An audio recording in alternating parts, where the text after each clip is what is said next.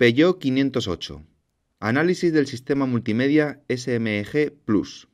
Los niveles Ayur y GT tienen como parte de la dotación de serie el sistema SMG Plus, con pantalla táctil a color de 7 pulgadas. El sistema tiene menús intuitivos y fáciles de utilizar, como el del navegador, pero también otros como el del audio que pueden ser confusos. Debajo de la pantalla hay una serie de botones que dan acceso directo a las principales funciones. También hay botones en la parte derecha del volante. El que indicamos sirve para ver el menú principal. En este menú hay varios accesos como el denominado conducción. Desde él podemos activar algunos sistemas de ayuda y ver los datos del ordenador de viaje. La información visible en la pantalla central es la misma que se puede ver en la del cuadro de instrumentos. En el menú Setup hay varios apartados.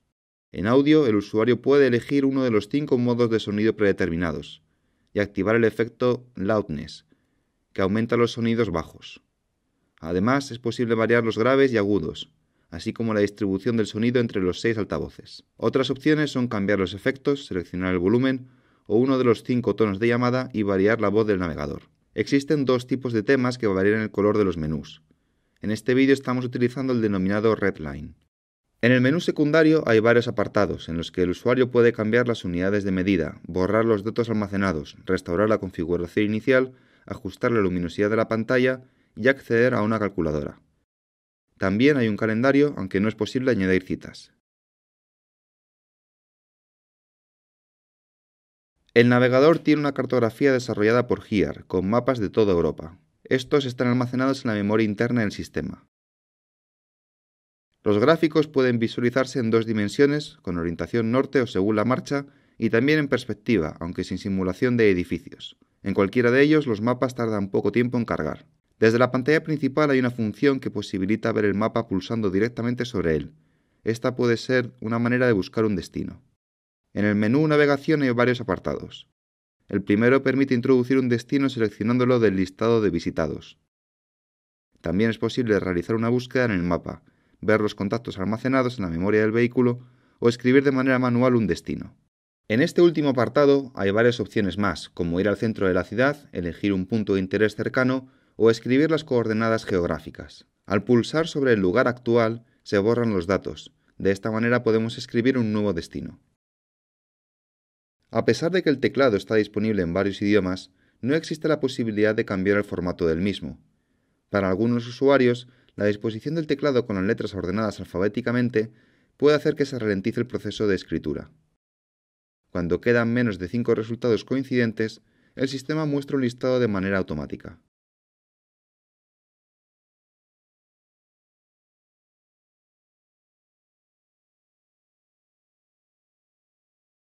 Podemos guardar el destino en la memoria del sistema y ver un pequeño gráfico con la posición. Antes de iniciar el guiado hay que dar un último paso, seleccionar una de las cuatro rutas disponibles. Destacamos la posibilidad de ver una tabla comparativa y un mapa de la ruta con las distintas alternativas.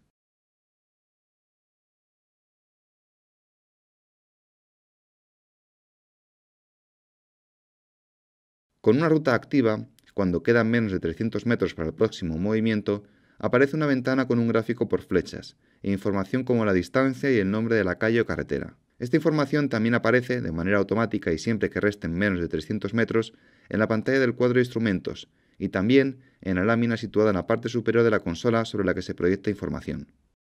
Desde el menú Navegación hay acceso a los avisos de tráfico. El sistema muestra todos los existentes aunque el usuario puede seleccionar ver únicamente los que están en el itinerario, cerca de la zona o del destino. Pulsando sobre cualquiera, obtenemos más información sobre la incidencia.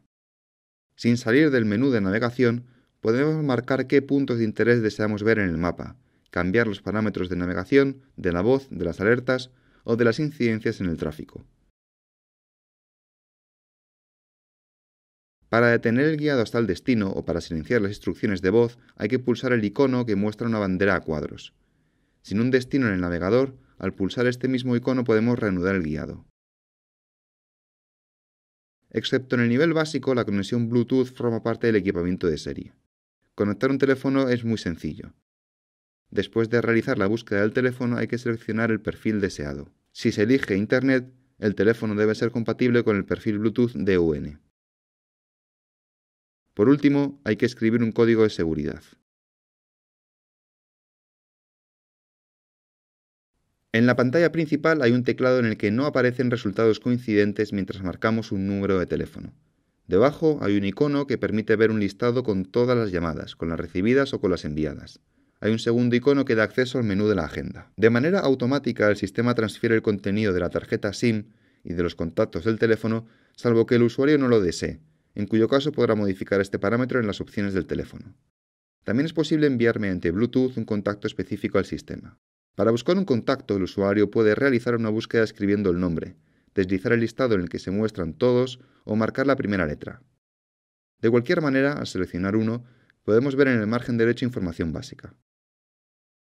Otra opción es acceder a la ficha. En nuestro caso, ninguna de las imágenes de los contactos se ha transferido, mientras que las direcciones lo han hecho de manera incompleta. Para poder iniciar un guiado hemos tenido que rellenar los campos del domicilio y almacenar el contacto en el vehículo. Solo así podemos iniciar la ruta.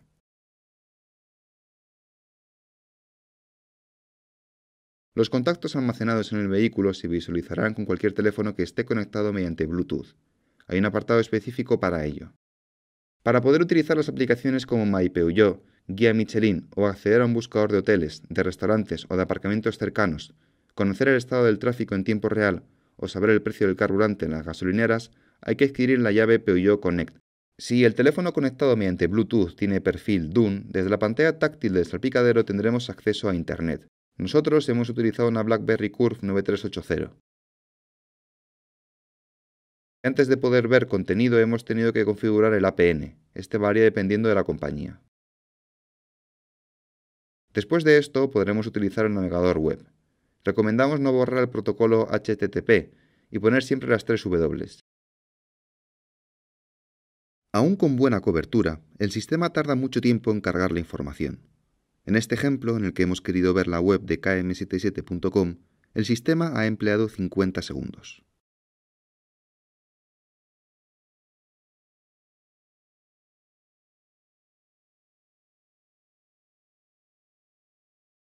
Hay un contador que nos permite ver cuánto tiempo hemos estado conectados y el volumen de datos consumidos.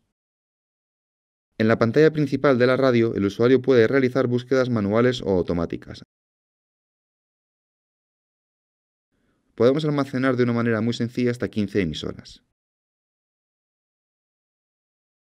En el menú Gestión multimedia hay un acceso que permite ver un listado con todas las emisoras y la opción para introducir una frecuencia.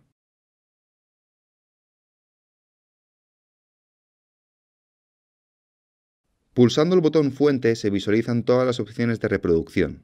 La radio digital no está disponible en nuestro mercado. La interfaz al reproducir un disco CD o al utilizar una memoria USB con archivos de música es la misma. En la parte inferior es posible cambiar de carpeta o álbum seleccionando las carátulas.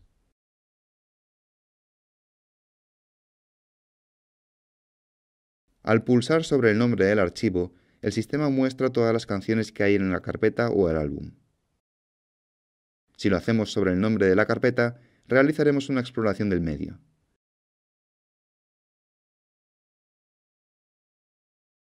En el apartado Lista multimedia podemos ver el contenido ordenado por carpetas, álbumes o artistas. Desde aquí, y solo con música almacenada en una memoria USB, podremos copiar los archivos al disco duro, denominado Jukebox. El sistema no deja copiar canciones sueltas, sino que hay que seleccionar toda la carpeta o todo el álbum. Después hay dos opciones, crear una carpeta nueva o mantener la estructura de origen. Ha tardado 15 segundos en copiar cuatro canciones. Para reproducir la música almacenada en el disco duro hay que seleccionar la fuente Jukebox. La interfaz es la misma que al reproducir una memoria USB. Para eliminar música del disco duro hay que acceder al apartado Gestión del Jukebox. Al igual que ocurre al grabar, para eliminar no se puede escoger canciones sueltas, hay que seleccionar una carpeta con todo el contenido.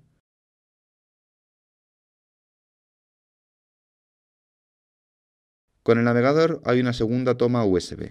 Ambas son compatibles con el reproductor iPod y no es necesario un cable especial. La interfaz es la misma que hemos visto en los otros medios de reproducción. La mayor diferencia la encontramos en el menú Lista multimedia. Ahora podemos realizar búsquedas por género o ver los playlists. Un inconveniente que hemos apreciado es que no se puede escribir el nombre del álbum o del artista. Hay que ir pasando por el listado hasta encontrar el deseado. Otro modo de reproducción de audio es a través de la conexión Bluetooth. Dependiendo del dispositivo, en la pantalla aparecen los datos del audio y la imagen de la carátula. En nuestro caso, con un Samsung Galaxy S3 Mini, los datos sí lo han hecho pero no la imagen. No hemos podido realizar una exploración. Hay un visor de imágenes. Estas tienen que estar almacenadas en una memoria USB. Ambos puertos son compatibles. Entre las opciones disponibles están girar la imagen, obtener información de la misma o iniciar una presentación. Otra posibilidad es almacenar una como pantalla de inicio. Veamos un ejemplo.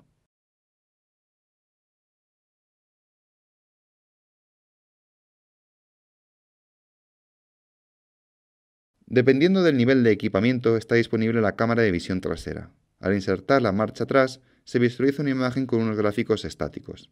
Desconocemos si nuestra unidad de pruebas tiene algún fallo, ya que la imagen es muy oscura. En este ejemplo, las luces del estudio de grabación están encendidas, y no se visualiza el coche que hay detrás, a escasos 30 centímetros de distancia.